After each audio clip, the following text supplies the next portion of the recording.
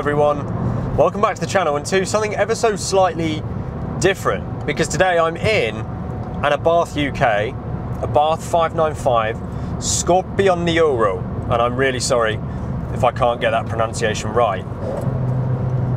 Now, this is a very striking looking car with uh, Scorpion black paintwork and Formula Gold wheels and accents all over, even carried into the car here on the seats. Now the reason for that is because this is a one of 2000 limited edition Abarth 595, the likes of which I was excited to get my hands on when Abarth UK said they had one available for a couple of weeks.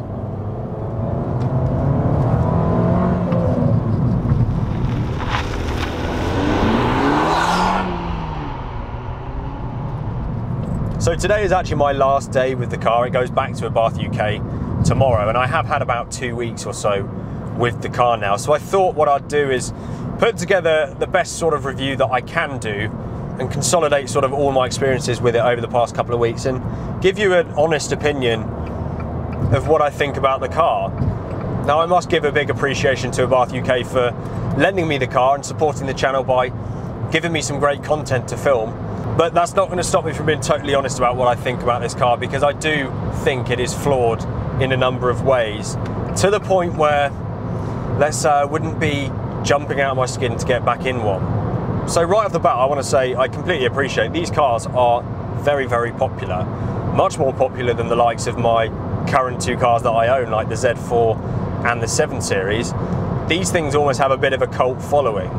And there's obviously a reason for that. They're obviously very well loved. But from where I'm sitting, I might have a slightly different perspective on what these cars are like, given what I've driven before and what I own currently.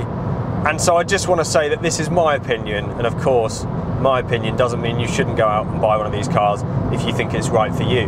So we'll get on to some really good points about this car soon, but as we're now sitting on the A3 at 70 miles per hour, it just draws me to a first couple of problems with this car. I mean, yes, it's a small car, but the, the noise in here is quite high. Considering I'm actually only doing 65 miles an hour, the wind noise is quite high. You might also notice that I'm bumping around all over the place. Well, that's because this car has an unforgivably firm suspension setup. It's honestly one of the firmest cars I can imagine driving. I mean, I just got out yesterday of an Audi R8 GT Spider, and that, to be honest, felt better than this. It really is and that's why I say unforgivably firm, because it is just that. It's very, very firm, and I can't quite understand why it's so firm and how that actually improves the car. Also, although we're now just off the A3, at 70 miles an hour, we're at around 3,000 RPM. So we only have five gears in this car. There's not a sixth speed. But I don't think this car is designed to be a big long distance car.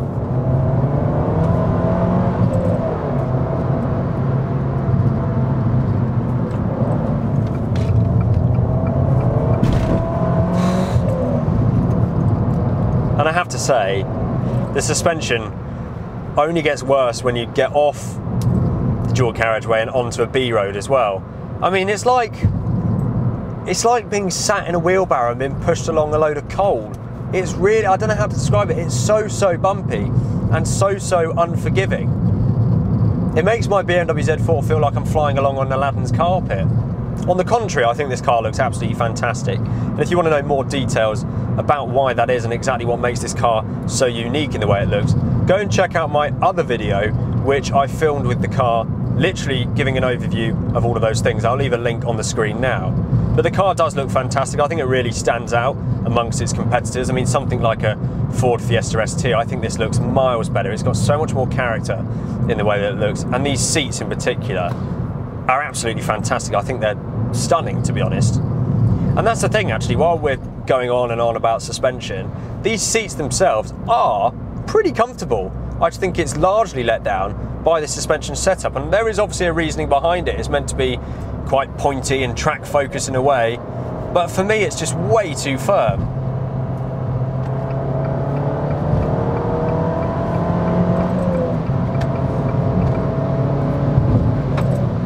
These cars do have great pickup though. This is slightly detuned compared to the Competizione, at only 165 horsepower as opposed to that's 180. However, they just have a way of picking up speed really, really nicely. Not in a way that's terrifying, but in just a really nice progressive way. The turbo lag is absolutely there, but once you're above 2000 RPM or so, as I can see from my gauge, you're always in the boost.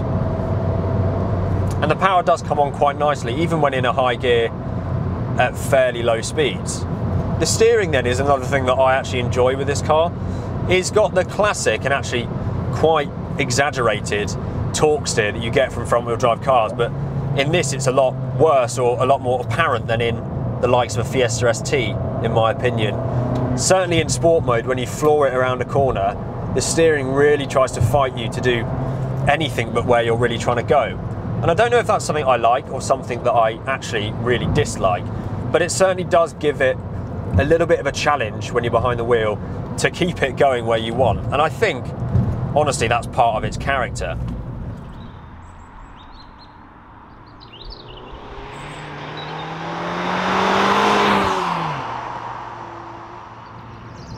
One thing I've noticed quite a lot since having this car, because I've been posting it on Instagram and the likes of social media over the couple of weeks or so I've had it, I've had a lot of messages and comments that just simply say, well, it's just a Fiat 500. And that really annoys me. I think that must really annoy you if you're an owner because it really isn't a Fiat 500. It's everything but a Fiat 500. Yes, it's based off the shell of a Fiat 500, and they even leave the 500 badging there on the dash cover, but it is everything but a Fiat 500 from the second you get in it, it's not a Fiat 500. It's something that you do have to fight down a road like this, and it is quite an enjoyable experience. I just don't quite know if I like it or not. It's very strange. I've been disappointed by this car in the city as well.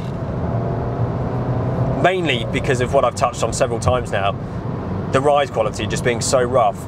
I was hoping where I'm living now in the outskirts of London, where we have lots of 20 zones and speed bumps, that this would be a great little thing to pop to the shops in because I have been using my 760 Li, my 7 Series, with a V12 for my daily duties. So I thought this would, all you know, one one provider an economical alternative to that, but also just be a quite nippy little thing, easy to park, great to glide over through the city streets, but because of that ride quality, it's you have to go sideways over speed bumps, otherwise you feel like the whole front of the car is going to come off. It's surprisingly bad, and it's been a real shame because I was hoping to use this car a lot more, but it's just too rough. It's just too rough for my liking. And that's fine because as I currently have it, I have a BMW Z4, a 7 Series, and this on the driveway.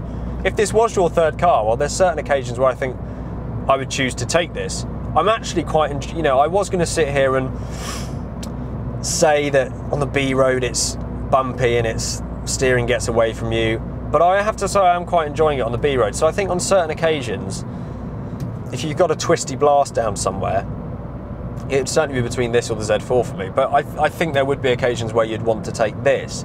I just can't see quite where it fits in as a city car certainly if there's speed bumps around you. I mean, yes, it's easy to park. This one has a pack with parking sensors on the back, which is great.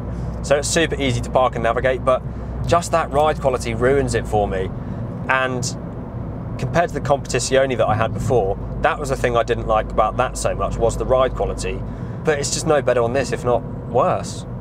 But back to the good. I mean, it looks fantastic. I think if you gave me the ultimatum between this and a Fiesta ST, I'd choose this every time it looks so much better. When you're sitting in here, because of, for example, this is a one of 2000 car, so you've got a plaque down here, you've got the embroidery on the seats, you've got big, nice displays. This one's got Apple CarPlay and a good sound system as well, which is a nice bonus. And I love the turbo gauge right in front of you here. It reminds you that you are in something a little bit Larry. And I think for me, it just has a lot more character than the Fiesta ST. And I think ultimately, that is why these cars sell so well is the character. The Italianness of it is definitely carried through into the Abarth brand. And I, I do love it. I love the Abarth brand. I just have a little bit of an issue with the way the suspension is set up on this car, as I've said several times. So I totally get why these are so popular. I just wish this had some sort of adaptive mode, maybe integrated with the sport functionality, where you could just use it and be a little bit more comfortable. It's a car that also conflicts me as well because I can't work out if it is designed to be a driver's car or not. For example, the things that you touch as a driver in this car are of a really nice quality. The steering wheel is, is trimmed in leather and it's, it's lovely to hold and lovely to use. The gear stick, although in a strange position, actually you get used to it relatively quick. And it is a lovely throw, actually. I have to say, I do really enjoy the shift on this car. The handbrake covered in leather. The doors here where you'd rest your elbow, leather, or at least a, a leather effect. So everything you sort of touch as a driver is great. However, the seating position is just fundamentally wrong. The gear stick, although I just complimented it, it is in an odd place. But I mean, having said that, people will say the Carrera GT is one of the best cars ever made, and the gear shift's up here somewhere on that. So I wouldn't really go on about this too much. But it's weird because the driving position is just so wrong. You sit so high up, you feel like the car's going to topple over on you at any point. And I just can't. Having had this car for two weeks, honestly, I've been every time I've got in the car, I've adjusted the seat somewhat because I just can't get the right position.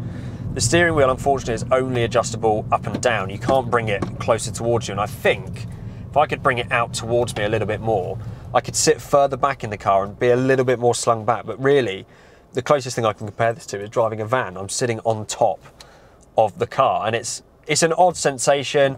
Again, I think it, it does tie in nicely with the character of the car, but fundamentally, as a driver's car or even a track weapon that some people describe this thing as, it's just wrong.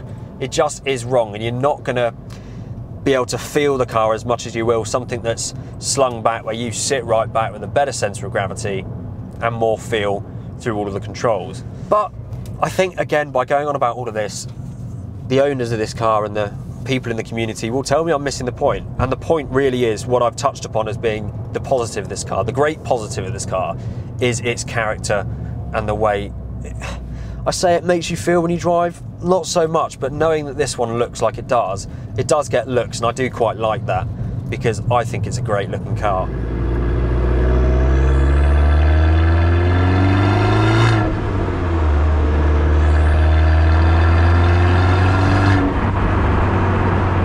In comparison to the Competizione that I had with the Monza exhaust, this sounds nowhere near as good, which is also a shame because I remember the sound of that Competizione sort of made up for a lot of the shortfallings, in my opinion, that this car had.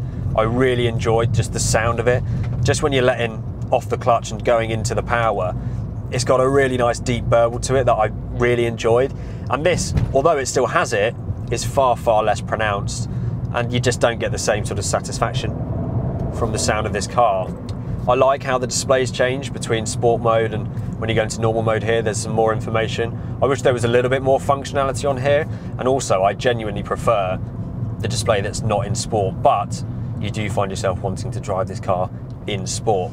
Like I say, my biggest problem with this car is just that suspension setup being a little bit, well, a lot, a lot too firm. It's unnecessary. It just feels unnecessary. I don't feel like it gives me any more driving feel by being that way. So for me, that's the biggest letdown, and almost, I'd say, in itself, enough for me to just not consider one of these cars.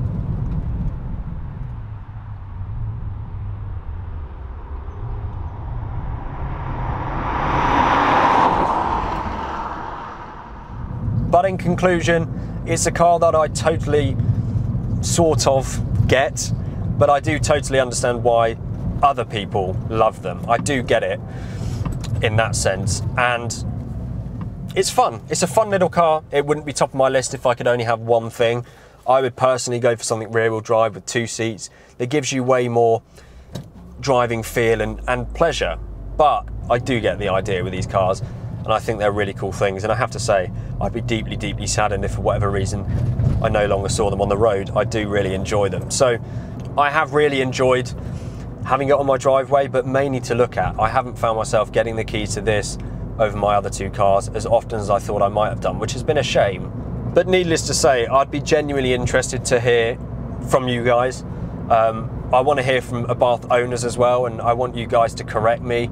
You know, where there's things I've said perhaps that you disagree with. I want to know why, um, because these are highly, highly popular cars, and there has to be a reason that maybe I just haven't quite got the grasp of yet. Anyway, I hope you guys have enjoyed this video. Please do leave it a thumbs up and support the channel by subscribing now. And um, yeah, please comment below and Tell me what you think. I would love to hear it. Thanks so much for watching, and I'll see you very, very soon.